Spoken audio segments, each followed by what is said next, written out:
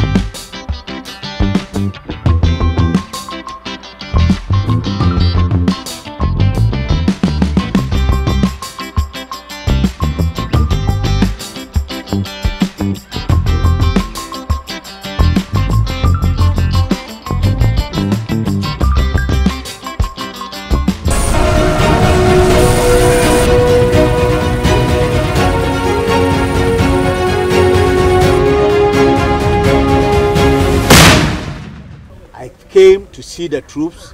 They have performed marvelously well, and I have no doubt in my mind that they would be able to deal and confront any threat that we face as a nation.